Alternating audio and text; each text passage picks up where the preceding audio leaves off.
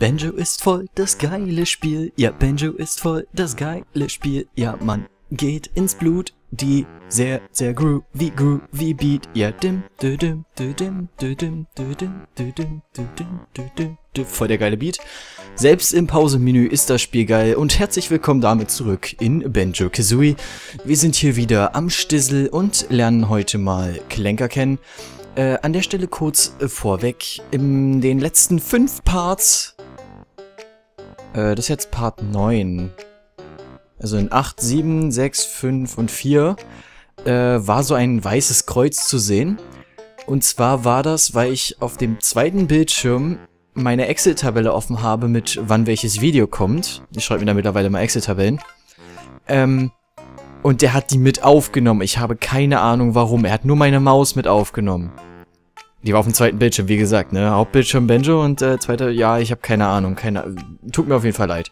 Ähm, sollte jetzt allerdings nicht mehr drin sein. Also wenn doch, dann weiß ich auch nicht, was ich noch machen kann. Aber, weil wir jetzt schon lange genug gequatscht haben, auf geht's ins Spiel. Bam! Wir müssen nämlich dem guten Klenker etwas Luft machen. Oh, ich liebe dieses Unterwasser-Theme, das ist so toll. Und weil wir ihm etwas Luft machen müssen, sehen wir schon hier, er hat seine fette, rostige Kette. Hier unten mag ich die M Melodie übrigens nicht so.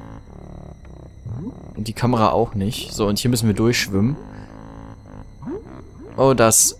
Äh... Wie heißt du? Sag mal deinen Namen. Hallo. Fischi? Magst du mir mal deinen Namen verraten? Ich weiß, hier ist, weder, hier ist sowohl ein Jinjo als auch, ähm... Na, komm schon. So, man kann das Ganze hier ein bisschen austricksen. Ah, wobei, ich kann es nicht gut. Ja, man kann halt hier einfach dreimal... Zack.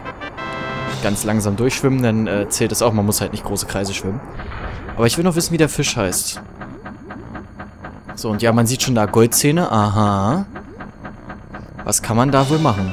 Genau, und oben auf Klenker setzen Puzzleteil. So. So. Danke für die frische Luft. Eine Belohnung erwartet euch auf meinem Rücken. Ich hätte ihn vielleicht etwas dumpfer und tiefer sprechen sollen. So, jetzt komm her hier. Talk to me. Komm schon, ich will deinen Namen wissen, verdammt. Ich weiß ihn nämlich nicht mehr. Das ist äh, lustigerweise kein Witz. Also es ist, also für mich ist es nicht so lustig, weil ich wüsste halt schon... Ich kann übrigens nicht orten, wo diese Blasen im Raum sind. Weil die so eine coole Textur haben. Hallo, jetzt quatsch mit mir, verdammt. Wir haben dich noch nicht gesehen, jetzt quatsch mit mir, verdammte Axt. Yo. Ja, dann quatsch halt nicht mit uns. Der hat halt gesagt, ähm, wenn ihr etwas frische Luft braucht, dann äh, hier habt ihr etwas oder sowas. Oder krieg, kriegt man die, die Meldung erst, wenn man... Ich weiß nicht, braucht man dafür mit bestimmten Trigger? Braucht man dafür bestimmt irgendwie so und so viel Sauerstoff übrig? Oder... Oder muss man ihn mit etwas weniger Luft anreden? So, yo, Digga. Nee. Es wird langsam eng.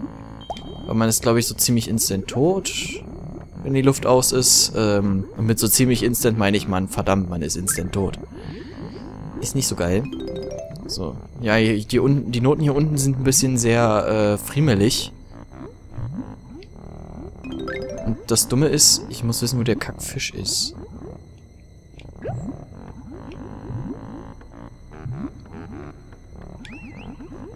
Komm schon, komm schon. Ich kann die, ich kann die Blasen nicht im Raum orten. Wir werden gleich sterben. Nein, wir werden sterben. Ah, war das knapp. Entschuldigung, ich muss gerade hier auf Blasenjagd gehen. Ich kann halt echt nicht orten, wo die Blasen im Raum sind. Das ist so schwer. Ich habe eigentlich ein ziemlich gutes 3D-Vorstellungsvermögen, aber das, das war jetzt geraten. Weil man hat halt einfach bei den Texturen keinen Anhaltspunkt, wo die sein können. Ich glaube, wir brauchen so um die drei äh, Lufthonigwaben, keine Ahnung, wie man das nennen kann, äh, um wieder nach oben zu kommen. Also bis nach ganz oben. Nicht. Einfach hoch, einfach hoch, wir haben alles. Dann will halt der Blasenfisch da unten nicht mit uns reden. Nicht hängen bleiben, bitte, Benjo. Tu mir das nicht an. Hier gibt es noch eine recht enge Luftpassage. Da müssen wir, also ich weiß auch nicht mehr genau, welche es war. Da gibt es auf jeden Fall am Ende eine Honigwabe. Und das ist dann wirklich so, yo. Also man schafft es gerade so durch, ohne zu sterben. Also man hat ein bisschen mehr Zeit, wenn man äh, so ein sehr optimiertes Movement hat, was ich natürlich nicht habe. Ich kann bei Benjo, weiß ich nicht, ich habe total Probleme mit dem, mit dem äh, Bewegen unter Wasser.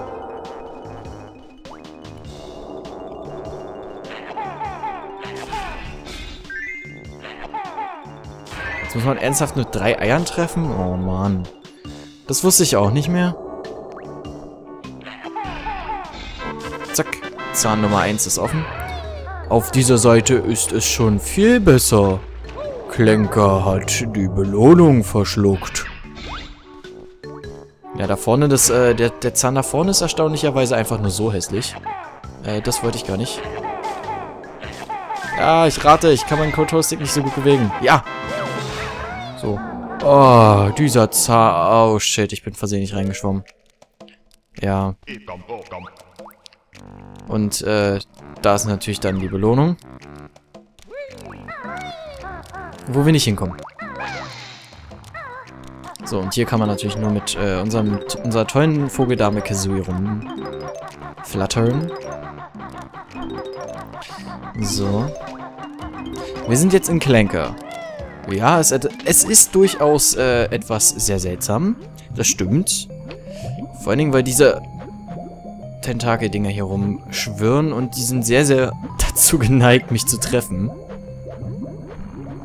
Warum allerdings, keine Ahnung. Die tun es gerne.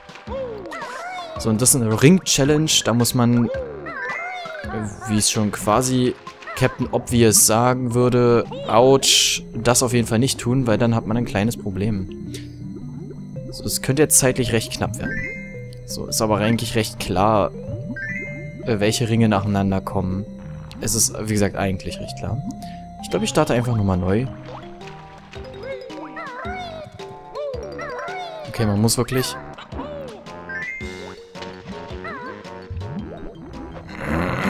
Nicht nochmal, bitte. Danke. So, hier waren irgendwo ganz viele Ringe. Ja, hier. Also zwei. Ja, ganz viele. Ja, schaden wir, glaube ich, nicht mehr. Also, wenn wir jetzt nochmal getroffen werden, auf jeden Fall nicht. Ansonsten wird es 2, 1, Risiko. Es... Ich wollte gerade sagen, es gibt noch einen Ring. Oh Gott, das hätte ich mir, hätte ich mich nicht dran erinnern können zumindest. Danke, Klenker.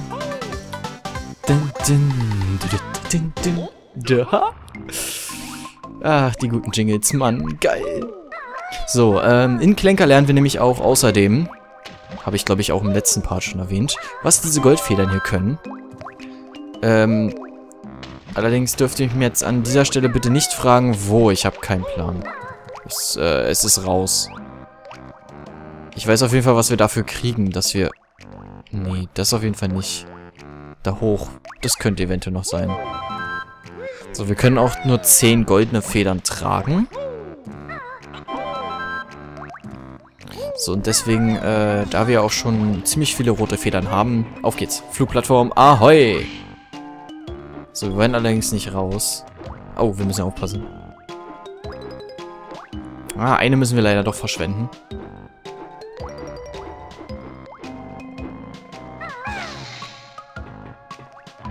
Na? Jawohl. Hui!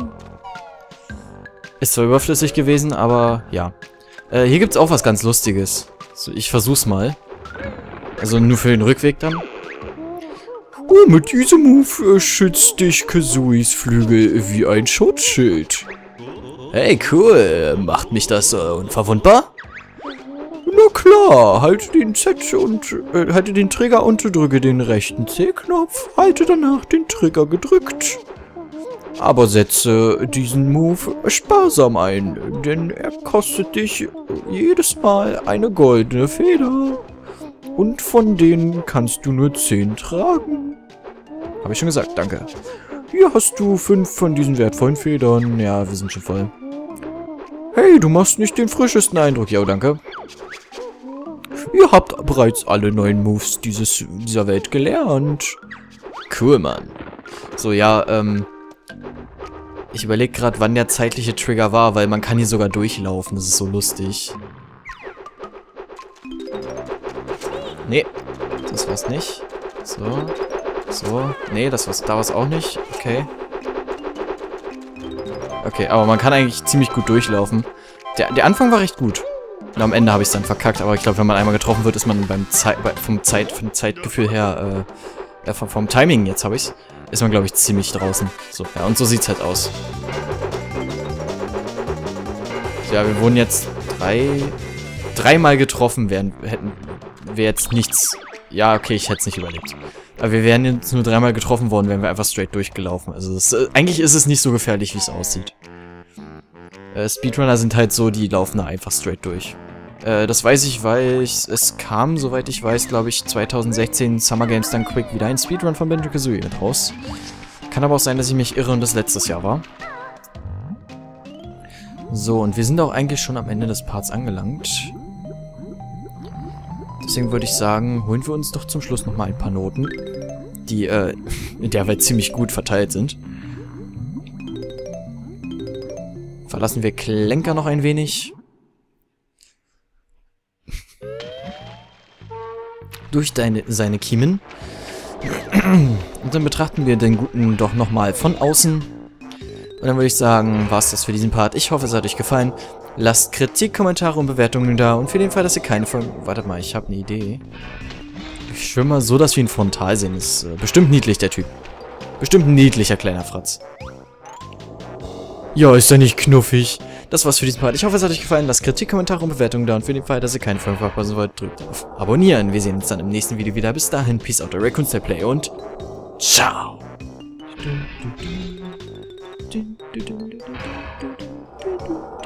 do do